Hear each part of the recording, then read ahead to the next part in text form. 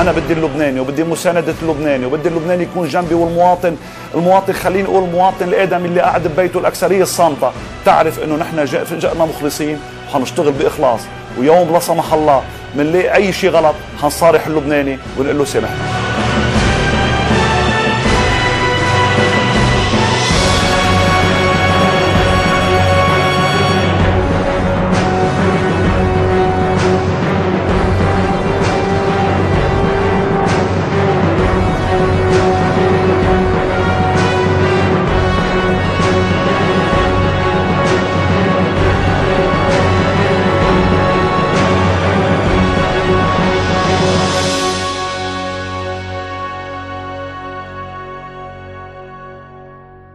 في كنف عائلة طرابلسية محافظة ولد الرئيس نجيب ميقاتي في الرابع والعشرين من شهر تشرين الثاني عام 1955 تلقى دروسه بمختلف مراحلها في مدرسة الليسي الفرنسية. والتحق بعدها بالجامعة الأمريكية في بيروت حيث نال عام 1979 الإجازة في إدارة الأعمال والماجستير عام 1980 وتابع دراساته العليا في جامعة إنسياد في فرنسا وجامعة هارفارد في الولايات المتحدة. متزوج من ماي دوماني ولهما ثلاثة أولاد ميرا وماهر ومالك. أسس مع شقيقه طه شركة للاتصالات التي تم دمجها فيما بعد مع شركة MTN العالمية. عطاؤه ومحبته للآخر كانت هدفه الدائم. فأسس جمعية العزم والسعادة واقتبس اسمها من اسمي والديه عزمي وسعاد. وهو يشرف مع شقيقه طه على أعمالها الخيرية والإنسانية والإنمائية التي أصبحت من مداميك الحياة اليومية الطرابلسية. عمل الرئيس ميقاتي بخبرته على تضييق الهوة بين القطاعين العام والخاص وهو حاليا عضو في مجلس أمناء الجامعة الأمريكية في بيروت وفي المجلس الاستشاري لكلية هاريس في جامعة شيكاغو. بالإضافة لعضويته في المجلس الاستشاري للمجموعة الدولية لمعالجة الأزمات International Crisis Group ورئاسة منتدى استشراف الشرق الأوسط. علاقاته العربية والعالمية زاد يفتخر فيه ويحافظ عليه.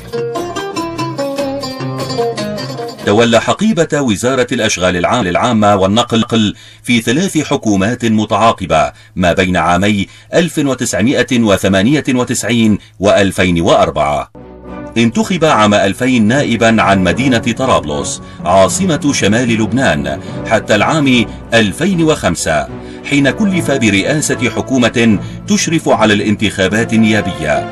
فأخذ وعدا على نفسه بعدم الترشح للنيابة ضمانا لحياد حكومته التي قامت بإجراء انتخابات ديمقراطية.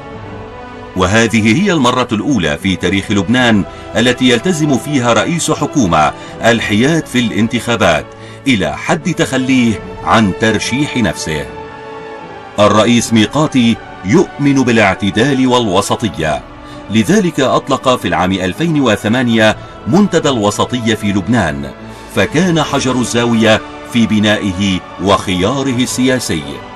يعتبر تحديا في أصعب وأشد الظروف قبل أن يمسك بيده كرة النار هذه حرصا منه على وحدة وتماسك لبنان ووحدة أبنائه.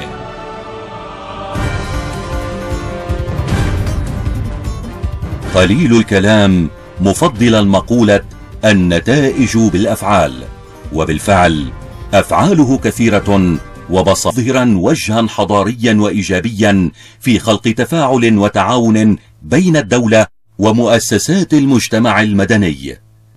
وكان دعمه لجمعية أندية اللاينز خلال حاكمية اللاين وفاء خوري دعما مميزا في مجالات عديدة. بداية عرفت السيدة وفاء الخوري عبر معرفتي بنجلها بسام. واكتشفت كم هذه السيدة ناشطة بجدارة بقطاع العمل الاجتماعي والمؤسسات المدنية وخاصة عبر نادي اللايونز كانت حقا أقول أسد نعم وأنس الأسد لها فقط. كانت أسد بكل معنى الكلمة.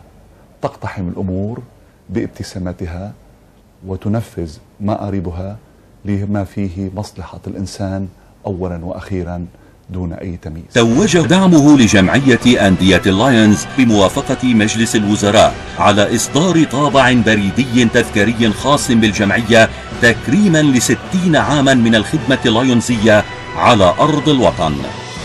شكرا لدولة الرئيس نجيب ميقاتي ولمجلس الوزراء اللبناني. خلف تلك الابتسامة الوادعة يقف الرئيس نجيب ميقاتي كرجل صلب لا يتهاون ولا يخاف ولا يرضخ. متواضع لأقصى الحدود وفي الوقت نفسه واثق الخطى يمشي. لا يخاف من خياراته لأنها دائما نابعة عن مبادئه. والحياة بعد كل شيء ليست سوى وقفة عز. كلنا للوطن كلنا للعمل. لبناني ومطرح